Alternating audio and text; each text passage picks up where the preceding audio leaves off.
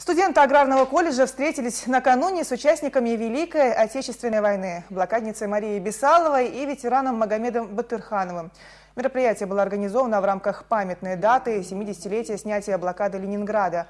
Бесалова рассказала ребятам о том, что ей пришлось пережить в осажденном фашистами городе, Магомед Батырханов, участник обороны Ленинграда, был тяжело ранен. Перенес несколько операций, но снова вернулся в строй и дошел до Берлина.